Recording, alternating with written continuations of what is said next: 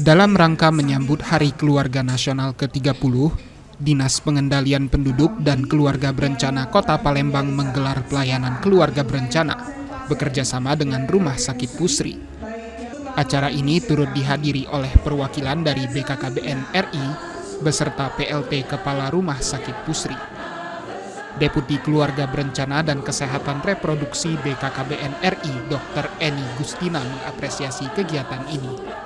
Menurutnya, program KB sangat penting untuk meningkatkan kualitas keluarga dalam mewujudkan rumah tangga yang sejahtera. Ini penting sekali karena kita sekarang sudah berpikir untuk peningkatan kualitas eh, keluarga. Peningkatan kualitas keluarga salah satunya adalah dengan merencanakan setiap kehamilan dan spacing.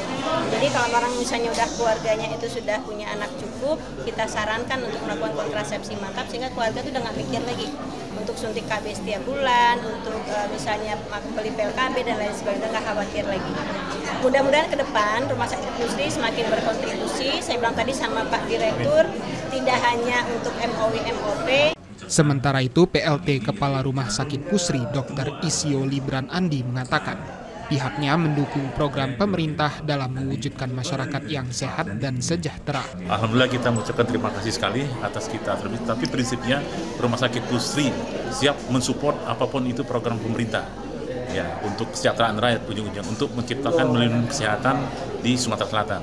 Khusus untuk KB ya, satu kita sudah jalani pada program apa namanya bakti sosial MUW MUP kemudian kita ada apa pasang implan juga kemudian kita melakukan edukasi promosi ke semua masyarakat sekitar Kegiatan ini diharapkan dapat mewujudkan keluarga yang berkualitas demi kehidupan yang sejahtera.